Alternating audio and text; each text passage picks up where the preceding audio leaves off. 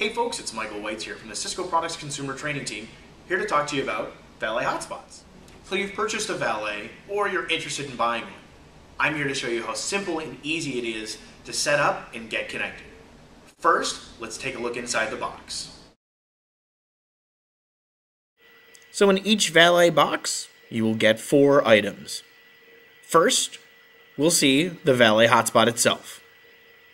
Next, underneath, our AC adapter and our Ethernet cable. Don't forget about the easy setup key in the top of the box that we'll need to set up our Valet hotspot. Here's our four components that we'll get with each and every Valet hotspot. Setting up your Valet is simple and easy. Your easy setup key needs to be inserted into your computer as so. After that, you need to click on the Connect icon that is found in the Cisco Connect software piece. Review the end user license agreement, and now use your AC adapter and Ethernet cable to connect your broadband modem. After you've completed that step, you click Next, and now begins the setup process of your Valet hotspot.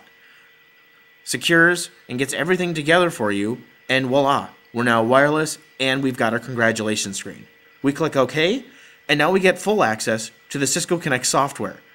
This allows us to add additional devices, parental controls, and guest access.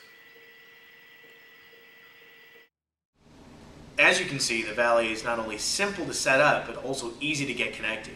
Some of the other great features you can see are found on the Cisco Connect software that's included on your Easy Setup Key, such as parental controls, adding new devices, and guest access.